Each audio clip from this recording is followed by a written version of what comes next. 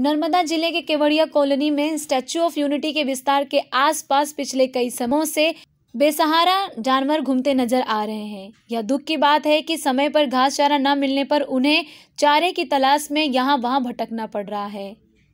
गौर करने लायक बात यह है कि रात के समय स्ट्रीट लाइट की व्यवस्था भी यहाँ नहीं है।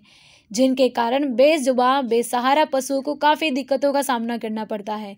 ग्रीष्म ऋतु की शुरुआत हो गई है, जिसमें ग्रीष्म ऋतु में काफ़ी गर्मी पड़ रही है, जिसके कारण बेजुबान प्राणियों को गर्मी का सामना भी करना पड़ रहा है बिना किसी सहूलियत के।